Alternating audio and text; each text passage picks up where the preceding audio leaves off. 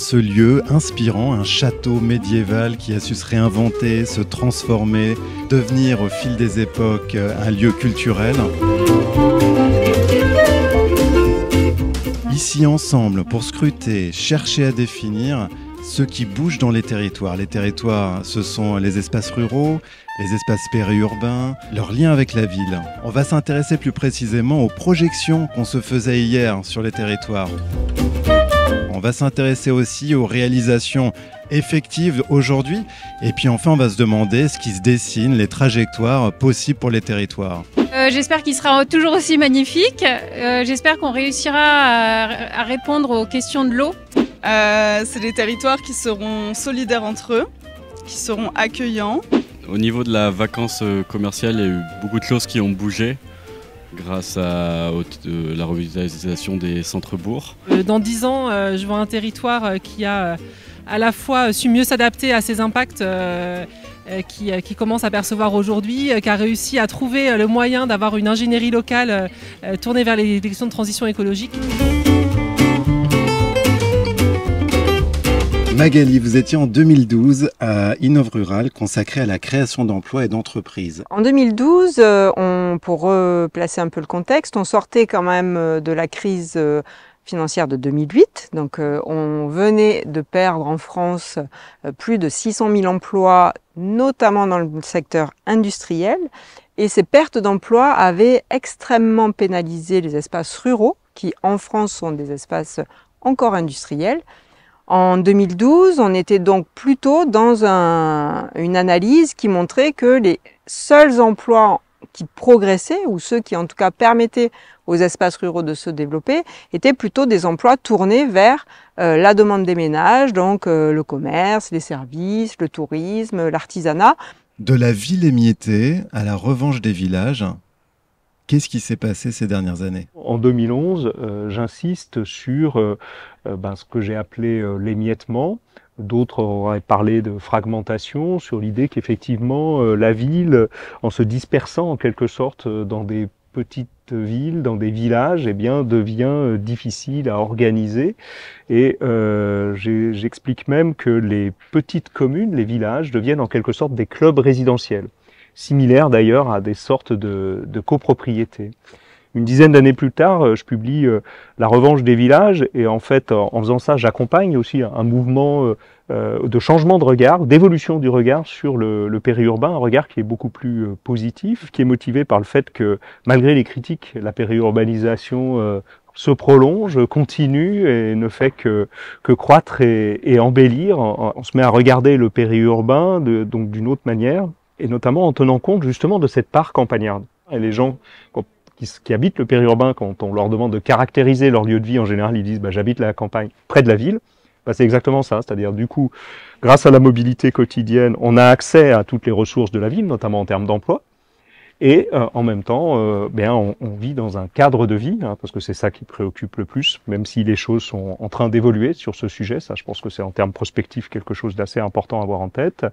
Euh, mais donc, en termes de cadre de vie, on a un environnement campagnard. Vincent, vous êtes prospectiviste. Il y a des grandes transformations en cours aujourd'hui dans le monde. Est-ce que vous pouvez nous les brosser rapidement et nous dire qu'est-ce qui se joue là aujourd'hui dans nos territoires? Ce que je ressors comme élément le plus important, dans, la, dans les transformations à venir, c'est qu'on va être impacté par la question des ressources. 75-80% des écosystèmes vivants sont dégradés. Concernant les solutions, il faut refabriquer des liens cognitifs, donc des liens entre acteurs pour qu'ils parlent le même langage. Il faut refabriquer des liens, retisser des liens informationnels, faire communiquer les systèmes d'information. Parce qu'en fait, tout est hyper cloisonné, très vertical, il faut horizontaliser tout ça. Et puis, il faut aussi des nouveaux liens organisationnels. C'est-à-dire, en gros, euh, ben, comment on pilote des projets dans des systèmes beaucoup plus ouverts. Et ça, si vous voulez, on l'a jamais appris.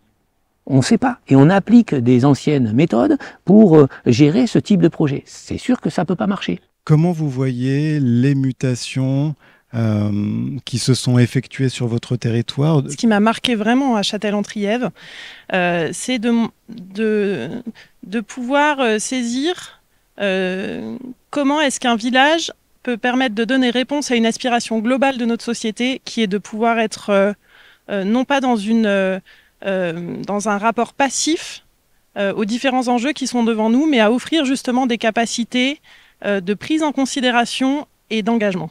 Alors Alexandre, comment prend-on à bras le corps des questions aussi diverses et à enjeu aujourd'hui que sont les questions agricoles, foncières, alimentaire, forestière, énergétique, voire de mobilité, à une grande échelle, qui est celle, euh, par exemple, euh, de Grenoble-Alpes Métropole, par le biais de votre axe, qui est celui de la coopération entre territoires. Ces thématiques-là, dans nos relations avec les territoires voisins, ne sont pas neuves, mais il est évident qu'elles ont pris de l'ampleur. Elles ont pris de l'ampleur du fait de, de la crise climatique. Et, ça, euh, à réfléchir ensemble, vraiment en se disant euh, euh, quelle, est notre, quelle est notre trajectoire commune par rapport à une question un peu fondamentale qui est comment est-ce qu'on va tous habiter ensemble ce grand territoire le mieux possible à plus de 3 à 4 degrés. Et ça, on a tous conscience que c'est à réfléchir à l'échelle d'un territoire critique à défaut du territoire, euh, comment dit, ce mythe de la bonne échelle euh, du territoire et tout, bah peut-être que euh, ce territoire critique, c'est celui où, au sein duquel on va avoir suffisamment de ressources à mettre à disposition ensemble. Ce qui est intéressant, c'est d'avoir quand même vu les choses un petit peu changer sur la façon de penser le développement économique, la façon aujourd'hui qui plus est, euh, face aux enjeux euh, climatiques, environnementaux, euh, se questionner profondément sur ce qu'est l'économie d'un territoire, sur ce qu'est la valeur, la richesse que crée un territoire. Donc ça, c'est vraiment des choses qui, qui, ont beaucoup, beaucoup changé. Émergent aussi des initiatives, alors plus alternatives, qui sont aujourd'hui repérées comme peut-être des niches ou des signaux faibles ou des petites choses, mais qui sont à mon sens très importantes on a parlé là dans un des ateliers dédiés à l'économie de tiers-lieux, euh, y compris de tiers-lieux de production. Peut-être pas des nouvelles filières ou peut-être des nouvelles filières qui réémergent de nos savoir-faire, le textile, la chaussure, euh, le cuir, etc. Mais aussi, même si ce ne sont pas de nouvelles filières, de nouvelles façons de repenser et d'organiser le travail. On n'aurait sans doute pas euh, misé ou présagé qu'il y aurait un jour, et voire même aussi vite après 2012, euh, un regain, un rebond industriel. Dans ces aires métropolitaines où croît l'emploi industriel, les premiers territoires, les premières communes qui accueillent aujourd'hui ces emplois, ce sont les communes rurales. Parce que c'est à la fois des bonnes nouvelles en termes d'économie, mais aussi beaucoup d'inquiétudes de la part des riverains, beaucoup d'opposition. Hein. Il, y a des levées de boucliers pour empêcher euh, euh, la construction d'une usine, bien qu'elle offre de l'emploi, etc. Il y a de l'industrie qui ne va pas créer de l'emploi, il y a de l'industrie qui peut être utile pour le territoire. Et donc là, un débat s'engage sur l'avenir productif des communes rurales au sein de ces grands espaces métropolitains. C'est l'enjeu de toute la politique de la commune. Pour moi, c'est le rôle de la commune et du maire aujourd'hui de trouver les conditions de faire société. C'est-à-dire euh, accepter de voir non pas notre fonction comme une fonction de gestionnaire, mais plutôt comme une fonction euh, euh, de cultivateur, d'un lien civique qui pourrait relier tous les habitants d'un même territoire.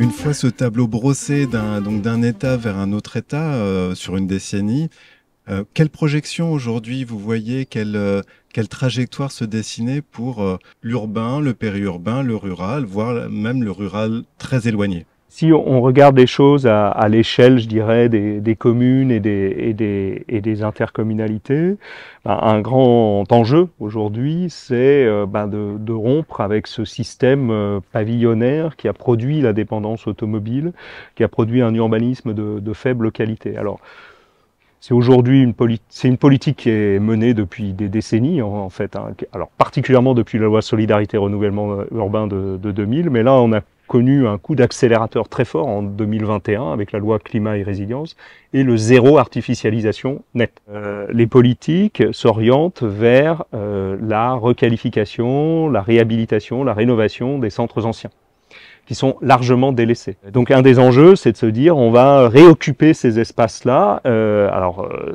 des enjeux de qualité de vie, euh, euh, notamment de réduction de la dépense, dépendance automobile, c'est-à-dire que les gens habitent là où il y a des commerces, là où il y a des activités, soient pas obligés à chaque fois d'aller prendre leur voiture pour euh, aller travailler ou faire leur faire leurs courses. mais une des grandes difficultés, c'est que s'ils sont vacances, c'est qu'il y a des raisons, c'est que ce sont des logements qui sont inadaptés, je dirais, aux besoins contemporains.